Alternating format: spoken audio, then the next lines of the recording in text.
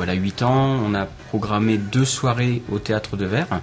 Euh, à l'époque, on avait accueilli euh, Ridan, la Grande Sophie, les acrobates et Prohommes. Et dès la saison suivante, on a décidé de, de, sortir du théâtre pour investir la halle de Béret.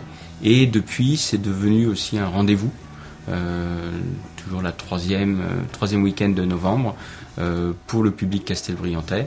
Euh, soirée chant libre, intégrée dans le cadre de la saison du théâtre, mais euh, qui n'a pas lieu au théâtre de Verre.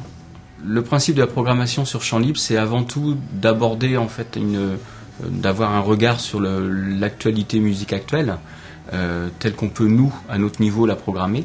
Et c'est vrai que cette saison, les trois soirées qui étaient programmées étaient vraiment trois soirées complètement distinctes, puisque le jeudi soir, on a proposé un concert hommage à Brassens, mais qui n'était pas simplement de la pure reprise de Brassens, mais vraiment du Brassens revisité par des, musiciens de musique improvisée. Le deuxième soir, c'était là aussi un certain regard sur euh, les musiques actuelles, euh, mais plutôt pour un public familial, euh, par via un concert rock par des marionnettes. Moi, il me semblait intéressant de pouvoir intégrer ça dans le même week-end que, que, que Chant Libre. Puisque le lendemain, donc là, nous avions affaire à des, à des artistes, là aussi musique actuelle, mais avec notamment un groupe Zodo qui, qui fait partie un peu de ces, ces groupes très médiatisés. Et, et donc dans l'ensemble, en fait, avait une, de mon point de vue une certaine cohérence en fait à, être présenté sous l'intitulé Chant libre. Sur l'ensemble, le, bilan est vraiment très positif. Euh, en termes de fréquentation, ben, on déplore simplement une baisse de fréquentation sur la soirée du samedi à la Halle de Berry. Je pense que le contexte économique n'y est pas pour rien en fait. Hein. Euh, on sent bien que c'est difficile pour tout le monde en ce moment. Euh, on proposait là un plateau avec que des artistes chantant en anglais.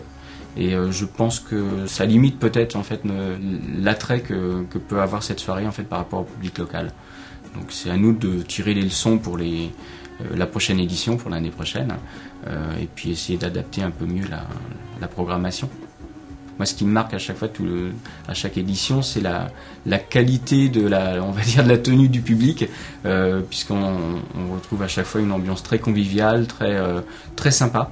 Euh, et puis, euh, en effet, les gens viennent pour faire la fête, pour s'amuser. On fait appel au comité des fêtes euh, avec les mamies qui vendent des crêpes et qui ont une relation très sympa aussi avec les jeunes.